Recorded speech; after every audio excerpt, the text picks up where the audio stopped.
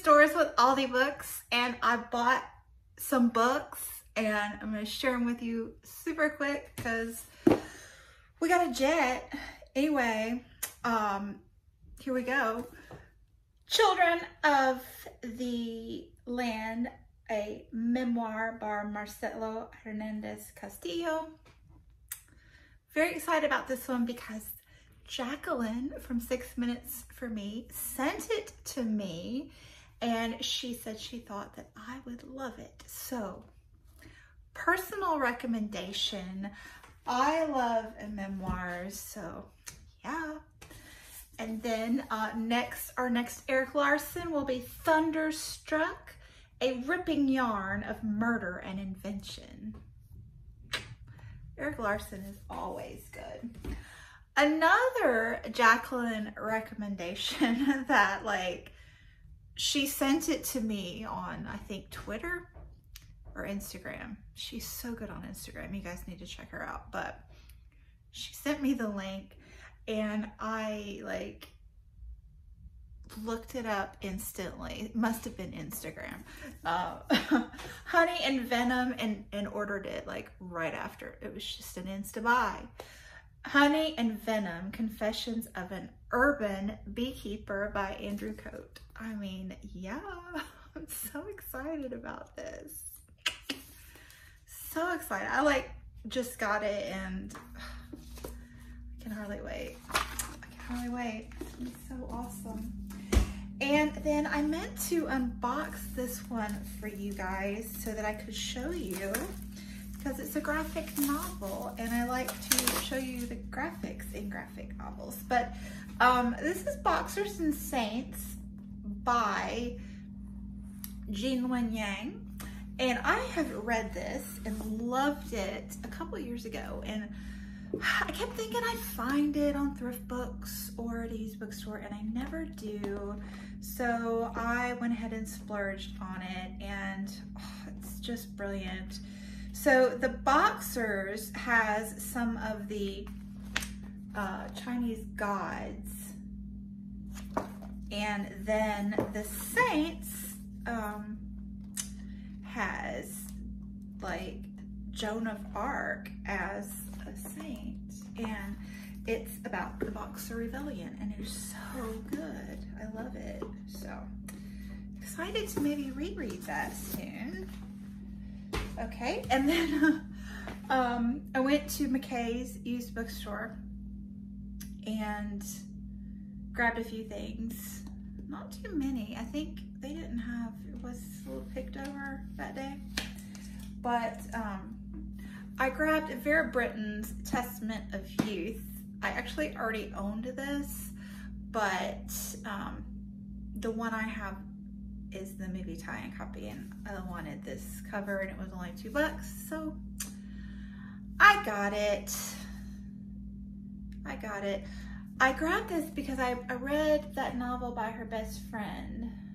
Do y'all know who her best friend is? Um, anyway, look it up. Sorry. I'm in such a hurry.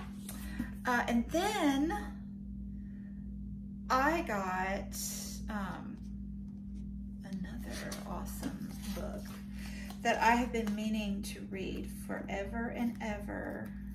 I need to stop. Okay, take that off later. Um, Guns, Germs, and Steel by Jared Diamond. Uh, and I got this because I um, read somewhere recently that Collapse um, is a sequel to this one. Collapse is another book that he's written on the collapse of civilizations. Uh, so, and then I got home and realized I don't own Collapse. Like, I can't find it anywhere and I could swear I own it. So, I don't know what that's all about. And they had it at McKay's, but maybe they'll still have it next time. So, this is the one that I was the most excited to find at McKay's because I've been wanting it. And you know, I've gone on a bit of a Dominican Republic bender here lately. So, yay! I found Dominicana by Angie Cruz. And um, we were looking through the the nonfiction, and I just I can't resist David McCullough. I just can't. So I grabbed another. I got The Greater Journey: Americans in Paris, and this one um, sounded very intriguing because uh, it's like different people's. It's not just one event like his are oft, often are. Oh my gosh, I love it when little things are in books. Huh. Anyway, um, so this one is about different peoples that went from different people from the U.S. back in the day that went to Paris to learn. So Elizabeth Blackwell, the first female doctor in America. Uh, Charles Sumner, whose encounters with black students at the Sorbonne inspired him to become the most powerful voice for abolition in the U.S. Um, James Fenimore Cooper and Samuel F.B. Morse. Um, yeah, you know them. Harriet Beecher Stowe.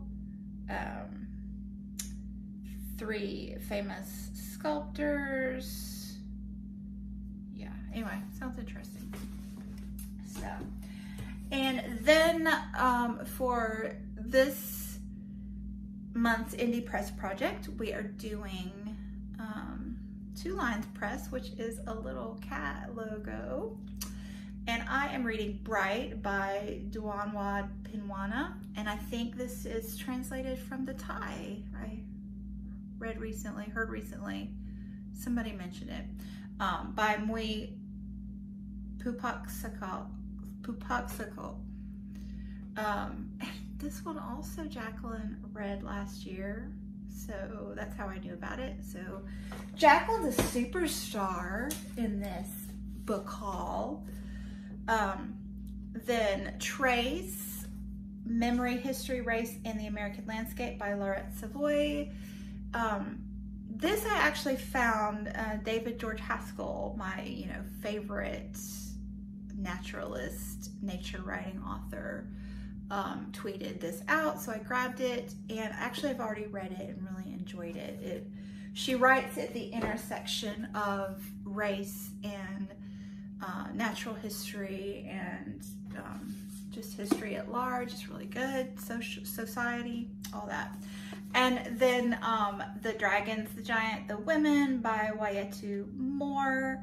Um, when I found out that she was having a new book out, a memoir, I had to snag it. Um, she was, um, what was that King book that, oh my gosh, I'm just feeling so frazzled at the moment. Why is her book not on here? Well, y'all know what what book she wrote right? See, I can't even think now because the cat is yelling at the door. Um, it's got a blue cover. I just read it. And last but not least, The Southern Book Club's Guide to Slaying Vampires by Grady Hendrix. Oh my goodness. Yeah. Was it She Would Be King? Think that's it. I think it's, yeah, there it is. She, she Would Be King um, is the Wayétu Moore novel that I loved. So, yeah. this, um, I feel is going to be an epic reading experience. And with that, I will just sign off. Thank you so much for watching, and I'll be back soon.